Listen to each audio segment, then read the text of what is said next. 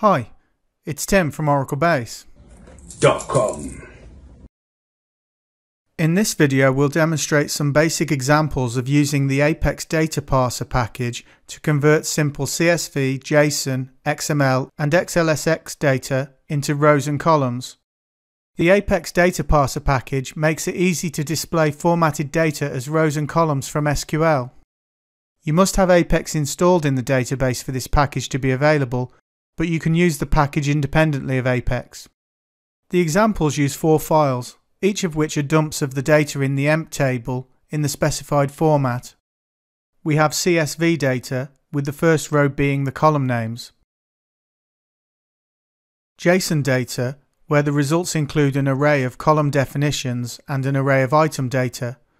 We only care about the data in the results.items array.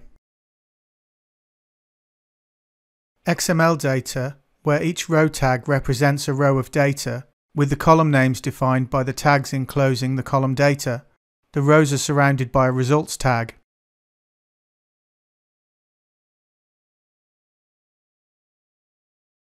XLSX data, which is essentially the CSV data saved in a different format.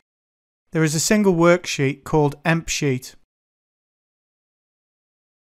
We connect to a privileged user and create an Oracle directory object called tempdir which points to the location on the database server that has the files.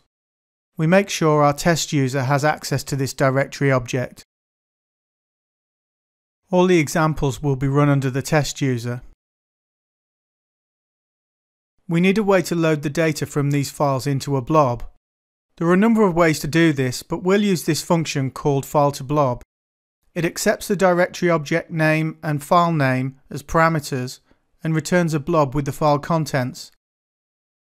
It's not the focus of this video so I'll move on, but just be aware this is how we make the data available to the Apex Data Parser package in these examples. Let's start with the CSV file. We'll mostly use the parse pipeline table function.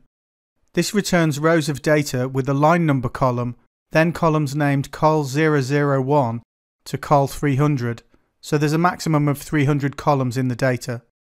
We use the file to blob function to pass a blob to the p content parameter. We also pass in the file name as the p file name parameter. The type of data to load can be inferred from the file extension. There are other ways to identify the type of data, but we'll stick with the file name approach. We use the table operator so we can query the returned data like a table. The select list includes the line number and the first eight columns. For CSV data, by default the first row contains the column names. Then we get the 14 rows of data we would expect, giving us a total of 15 rows. Now let's try the JSON file. It's similar to the CSV example, but we need to use the p row selector parameter to show where the array of row data can be found. In this case, it's results.items. For JSON data, the column names aren't included in the output by default, so we use the add headers row parameter to include them. The output is similar, but the column order is a little different than we might expect. The XML file example is similar to the JSON file example. This time we use results row as the row selector. The output is consistent with the CSV data, including the column order. For the XLSX file, if we're interested in the first worksheet, we can keep things simple and use it in the same way we did the CSV example.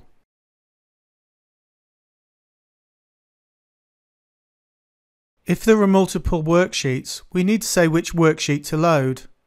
The getXLSX worksheets function displays the worksheets, we pass in the blob value and we need the resulting sheet file name value.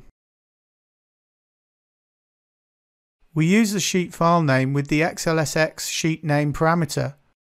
So now we can pick which worksheet to pass. Once again, the output is as we would expect. There's a lot more you can do with the Apex Data Parser package, but it's designed for simple data tables, so don't assume this is going to be perfect for parsing all your documents. Thanks for watching. As always, there are links to articles containing lots more information about this subject in the description box below.